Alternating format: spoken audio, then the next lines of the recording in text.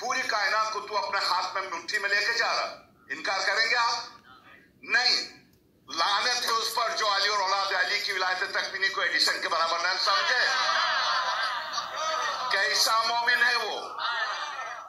Edison अगर कह दे, मैंने इस ज़मीन को रोशन किया तो सर झुका हाँ।